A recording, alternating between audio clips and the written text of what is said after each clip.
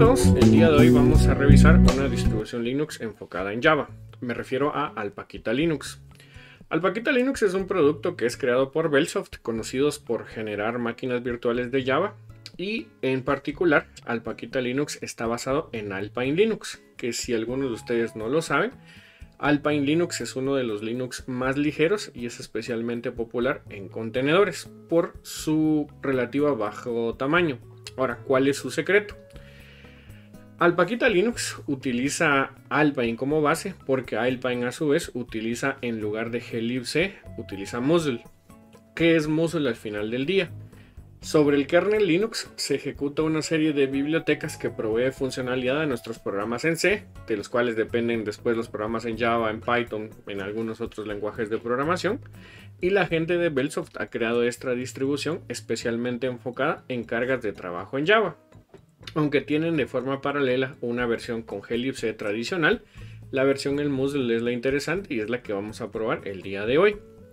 Para esta prueba entonces utilicé una máquina virtual, digámosle Billy Silvestre, utilizando Oracle VirtualBox y el proceso de instalación es bastante parecido al de otras distribuciones. Para mantener la prueba relativamente en línea con lo que yo esperaría de una distro ligera, le asigné dos cores de procesamiento y 2 GB de RAM como máximo a esta máquina virtual.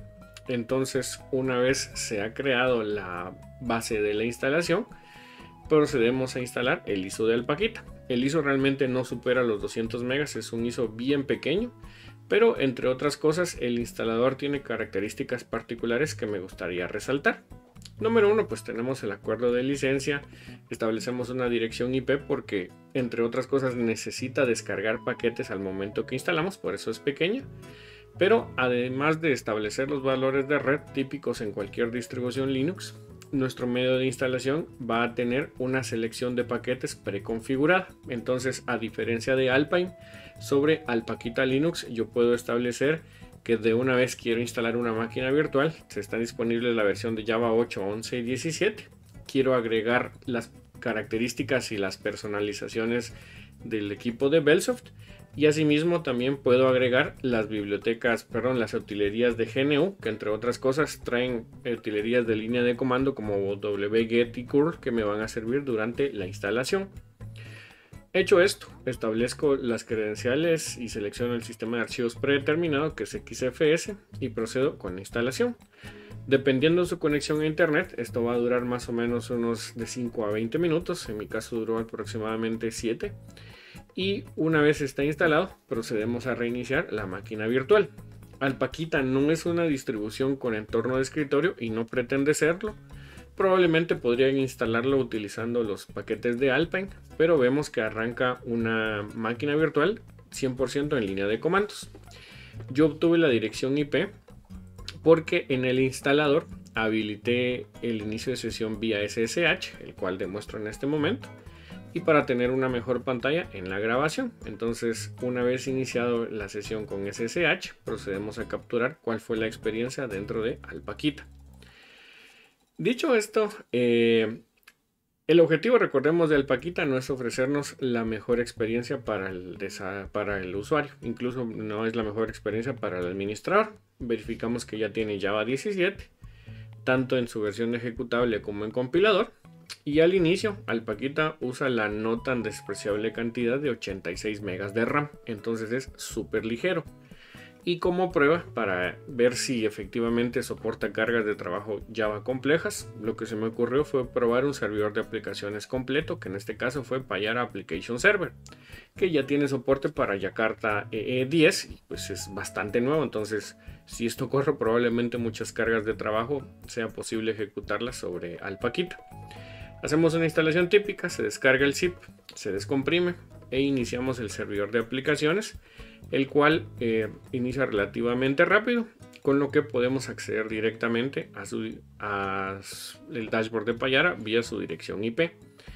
Esta es una IP que se fue asignada por mi servidor de HCP, pero notemos que la experiencia es la misma que ustedes podrían esperar de otras distribuciones Linux y sobre todo de otras máquinas virtuales de Java.